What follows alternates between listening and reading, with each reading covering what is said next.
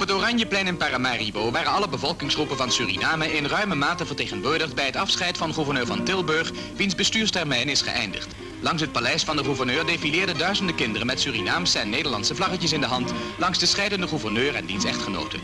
De heer en mevrouw van Tilburg kregen daarna uit alle kringen van de bevolking geschenken aangeboden. Tijdens de ambtsperiode van gouverneur van Tilburg zijn belangrijke stappen gezet voor Surinames verdere ontwikkeling. Zijn echtgenote heeft zich zeer verdienstelijk gemaakt op sociaal terrein, waarvoor zij werd benoemd tot ridder in de orde van Oranje Nassau. De waarnemend voorzitter van de Raad van Advies en gewezen minister-president van Suriname, de heer Curie, is deze dagen plechtig beëdigd als waarnemend gouverneur. De statenvoorzitter, de heer Kraag, sprak er in het bijzijn van minister-president Emmanuels en zijn kabinet zijn vreugde over uit dat de heer Curie de tweede Surinamer is die het hoge ambt van waarnemend gouverneur bekleedt. Daarna legde de heer Curie de eet af.